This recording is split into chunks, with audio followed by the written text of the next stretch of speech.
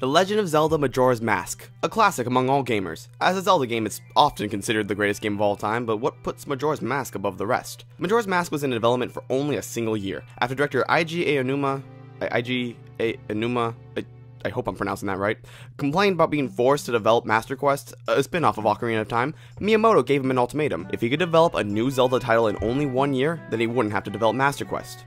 Aonuma lived up to this demand and created Majora's Mask. Majora's Mask is often considered the darkest Zelda game, and no, not just in lighting, stupid freaking race, of course you won, I have no idea where I'm going. Anyways, it focused a lot more on adult themes, mostly dealing with the stages of grief and the impending doom of a giant fucking moon murdering everyone you ever loved. Pleasant. As far as game's aesthetic goes, it's nothing too amazing actually. Due to the short development cycle, they lifted almost all the character models from Ocarina of Time. That being said, there still has some very interesting locations. Although you have your average swamp, mountain, beach locations, the fourth area, the Stone Tower, has very interesting design to it. And the entire Ikana Canyon is very haunting has great atmosphere. Actually, the atmosphere is by far the thing the game does best. Most of the game's life, though, comes from the characters in the central city, Clocktown. Gameplay wise, it's very standard for a Zelda game. The combat's simple shield, stab, shield, get hit, damn it. But the cool part is in the different masks. There are 26 masks in total. That they have variety in different effects from walking faster to marching along to spontaneous combustion. And then there are the four transformation masks. These allow you to transform into Deku, a Goron, a Zora, or God-slaying Beast. No, seriously, if you collect all the masks, you get the Great Deity Mask, which allows you to just slaughter all of the bosses. The real reason, however, that Majora's Mask has such great critical acclaim is its story. The story took a much darker turn than many were expecting, especially for a Nintendo game.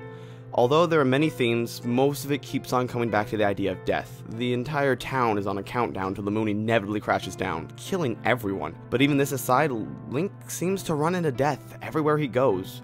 Every transformation mask you receive represents someone who has died, whether it be someone's son, someone's father, or even someone's lover. The different areas of the game represent different stages of grief. The townspeople of Clocktown represent denial, the angry scrubs trying to burn a monkey at the stake represents anger, the deceased Goron trying to make a deal with you to bring him back to life represents bargaining, the saddened Lulu represents depression, and the Ikana Canyon finally represents acceptance. The whole game is drenched in symbolism and recurring theme, however the game really shines with its character moments found throughout the side quests.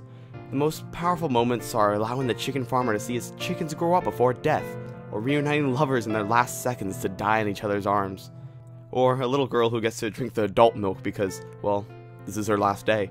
The characters have these very real, unique ways of dealing with death, and that's really where this game shines. One of the greatest things to do is to walk around on the final day and just talk to the townspeople, hearing what they have to say. It really gives this game a haunting, dark feeling that really separates it from the rest. Majora's Mask's darker theme really brings a lot to the table, creating a greater experience for story-driven gamers over other Zelda games. If you enjoyed this video, please subscribe, and if you want to say anything, just leave a comment down below. And if you want to see more videos, just click the annotation right here. Thank you for watching.